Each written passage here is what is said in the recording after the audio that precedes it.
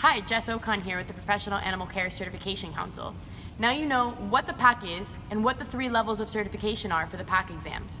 Now you need to know how to study for the PAC exams. There's a list of resources on our website that you can find, but the best way to study is to practice, practice, practice.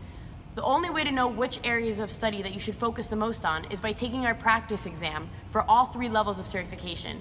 That way you know exactly where your strengths and weaknesses are, and you know exactly where you need to focus your study time. Visit our website to see our list of resources and to find out how you can register for your practice exam.